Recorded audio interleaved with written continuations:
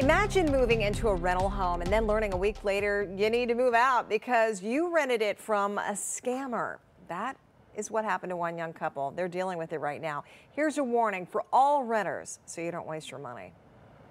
Dila and Gigi Nadai found the perfect rental home. We even bought our new rug. We got our Wi-Fi turned on. This cute little cottage. We found this apartment on Craigslist, this house. We came and we called the landlord. They told us to meet him over here to look at it. They met the landlord, signed the lease, and paid him a $500 money order deposit. But days after moving in, they got a visit from the real landlord. They were coming here to lock us out. We didn't even know what was going on. Turns out the lease and the rental company were fake. The real owner wanted them out and was turning off their water. The water don't is not. They turned the water off. It's called the house rental scam, and it's getting slicker and slicker. Scammers will find a legitimate house or an apartment for rent. They will repost the ad on Craigslist, give the tenants a phony lease to sign, and take the deposit money. It just feels like we're just lost. I mean, There's nothing we can do. Look like they can do nothing. So that's what it looks like. Dila and Gigi went to the police, but learned they're probably out of luck. Uh, it's a civil situation right now. Uh, I'm hoping that the landlord and the uh, tenants that are currently living there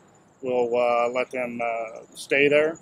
Our team contacted the owners, and a man told us they will now let the couple stay 30 days if they fill out an application and submit a new deposit. But Dila doesn't know if they can afford it now. I don't know what we're going to do. You know, they got our money.